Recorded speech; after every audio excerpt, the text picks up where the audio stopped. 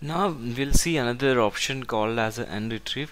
So so far I mean starting from the beginning so you might have seen like so you have entered many of the input data sets either PS files or PDS files and uh, or like 32 or 50 you might have entered and you wanted to see all those lists. So how to see that? You can type keys here and under the keys just assign in RET uh, definition to any of the function keys. So I'm typing here and just entering it.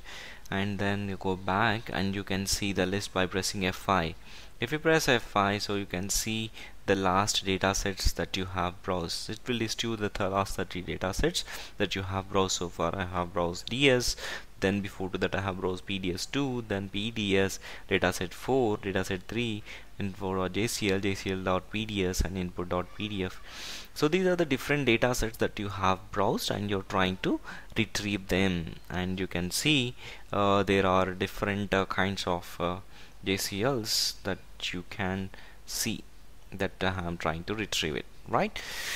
So thank you so much for watching this tutorial. Have a great and pleasurable day or an evening